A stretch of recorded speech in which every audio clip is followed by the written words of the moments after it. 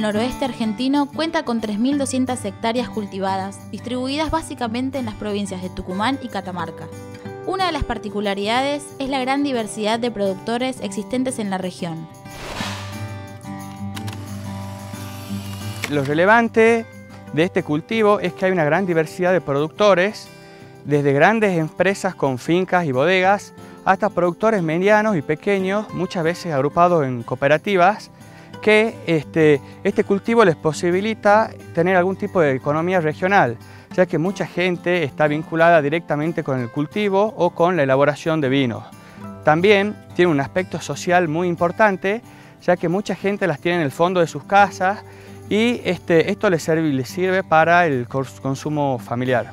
Lobesia botrana es una plaga que se la conoce comúnmente como la polilla de la vid, ya que ataca los cultivos de vid afectando tanto su producción como su calidad para consumo en fresco y vinificación. La región no está presente y toda nuestro, nuestra labor este, es para prevenir el ingreso, de manera de mantener el estatus fitosanitario de que todas estas plantaciones se continúen libres de lobesia botrana. Con el fin de evitar el impacto de la plaga, el SENASA implementa una serie de medidas de prevención, entre las que se destaca una red de monitoreo con trampas distribuidas a lo largo de las zonas productoras de vid de nuestro país. Bueno, acá estoy con mi compañero Gabriel Alderete, que es el técnico con quien realizamos todas estas tareas de prevención y trampeo en la zona. Les queremos mostrar cómo es la trampa. Esta es la trampa delta que consta de un cuerpo en el cual lleva la fecha de instalación. Este es del 15 de marzo del 2011.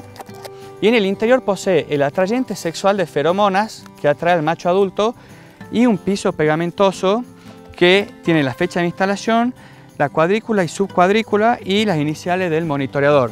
Estas trampas se encuentran georreferenciadas y en el momento de extraer los pisos son enviados a un centro de diagnóstico que verifica los resultados de la captura. Le recomendamos a las personas que sean conscientes a la hora de dirigirse o comprar algún plantín, que averigüen bien de dónde viene, qué condición sanitaria presenta y que en caso de que observen algo sospechoso, ya sea en algún traslado o en sus cultivos, que se pongan en contacto con nosotros, porque mientras más temprana sea la detección, más eficiente va a ser el control del problema que aparezca.